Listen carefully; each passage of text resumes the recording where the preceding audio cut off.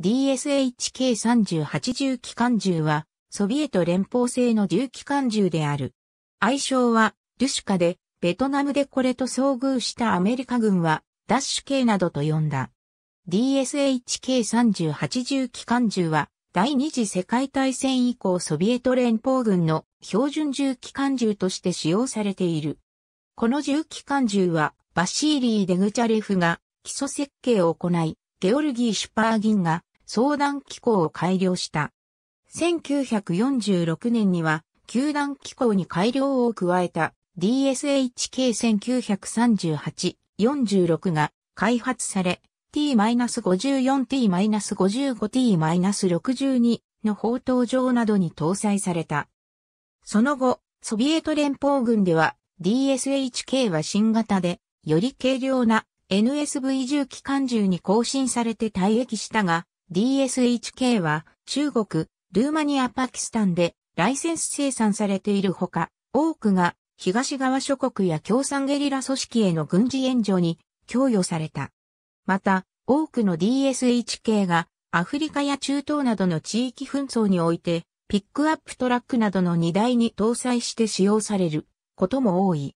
ソビエト連邦軍は1929年に対空用大口径重機関銃の開発を開始した。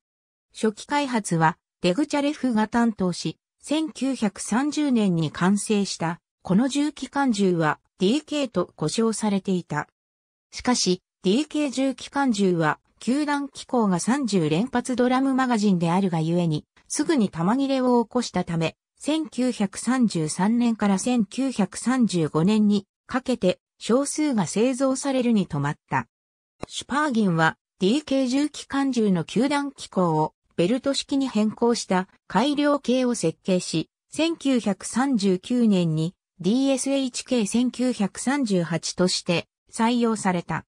一般的なソ連ロシアのベルト球団式機関銃は銃の右側から球団されるように設計されていることが多いが DSHK は西側諸国の機関銃と同様に左側から球団されるように設計されている。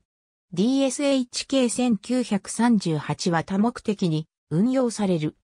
三脚などに搭載したり、ギャス、AA トラックに3丁搭載しての対空任務や、イズ -20 戦車や SU-152 自走砲、T-40 水陸両用系戦車などに搭載されての不評支援などに使用された。DSHK の三脚は PM1910 重機関銃の銃火と同様に、牽引用の二輪と棒立てがついており、この銃火は車輪を取り外した後に足を展開して対空用の三脚化として用いることも可能である。ありがとうございます。